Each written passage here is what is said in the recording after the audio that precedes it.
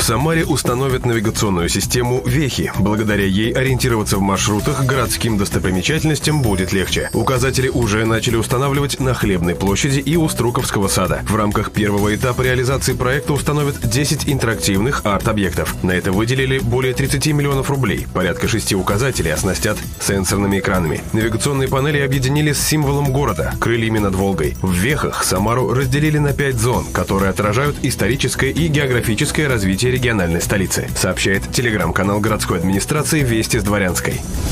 Департамент экономического развития, инвестиций и торговли администрации Самары приглашает своих подписчиков принять участие в первом муниципальном форуме экспортеров Самары. Он состоится 26 ноября. Запланировано 6 деловых сессий. Спектр тем от действующих мер поддержки для бизнеса до заключения международных контрактов. Также наградят лучшие экспортно-ориентированные компании.